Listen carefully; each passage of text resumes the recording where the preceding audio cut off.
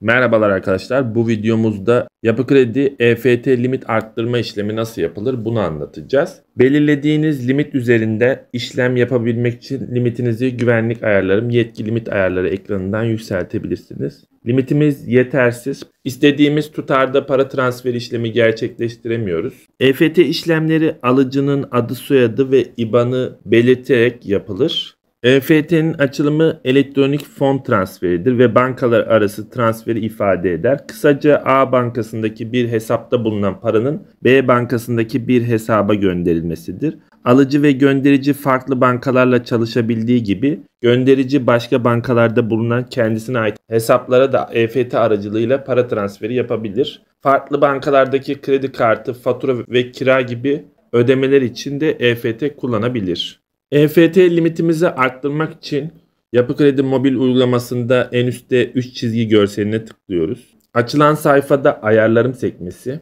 Aşağı doğru geliyoruz. Yetki ve limit ayarları.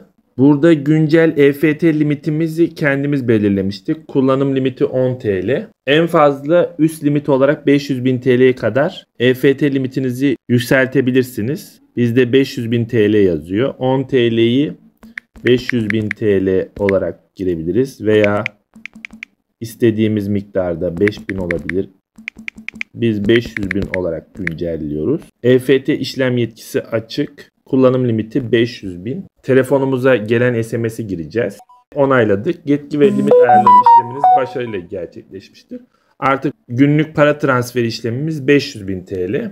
Tekrar yetki ve limit ayarlarına geldiğimizde güncelleme işlemimiz gerçekleşti.